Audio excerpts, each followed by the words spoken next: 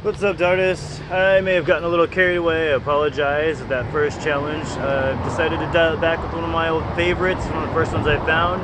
Um, it can be done in two ways just because it's basically the same trick, so you're free to choose which one you want to do. Um, starts with this inside lead thigh wrap. See how I let go and catch? Then I'm going to do the opposite, outside lead thigh. Wrap around the knee and shoot. Just like this, inside thigh. Then I'm gonna reach my thigh, that same thigh to the other side of my body, come right back out, holding that loop until it falls on the knee into the shot. Inside lead, cross over to the other side, outside lead, around for the shot. Um, the other way is called a wind up, and I really love wind ups because um, they're great ground recovery. Anytime you drop the dart, it fell, you didn't get your retrieval, whatnot.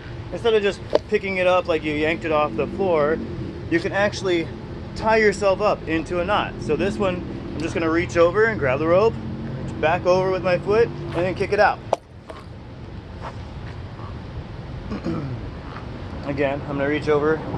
So now it's on the inside of my lead thigh, back over, holding that loop, put the dart on my foot, and kick out.